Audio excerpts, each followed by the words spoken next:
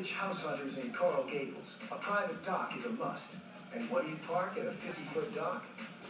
Your very own yacht. Lucretia's arranged for Suzanne to take a test cruise on a rare Chris Craft model. What do you think? Is this the one that you like? This is exactly. How did you do it? Here I am with the wow factor. Just when I think the tour's over, it's like you got a house, you need a house, you got a house, you need a boat, we got a boat. I don't know how she got it in a week. I don't want to know how she got it in a week, but it's great. Lucretia's fiance, Jeff, sells yachts to the super rich. But every agent's got to have her sources. A lot of times when Lucretia's clients are buying a house, they're probably going to end up buying a yacht. So we work uh, hand in hand with that. With the right house and the right yacht, it looks like the tour's been a success.